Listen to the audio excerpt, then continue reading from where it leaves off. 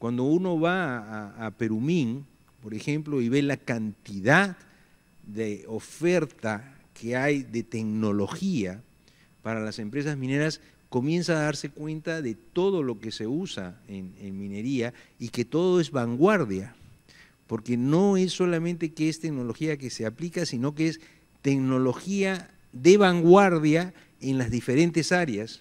Y como bien decía Rafael también, la minería no solamente es una actividad de ingenieros de minas o de ingenieros o gente de ciencias. Creo que en este momento, si uno va a, una empresa minera, todas las carreras están involucradas, todas, absolutamente. Y las, las, las, las, empresas mineras involucran a los profesionales y técnicos de todo tipo.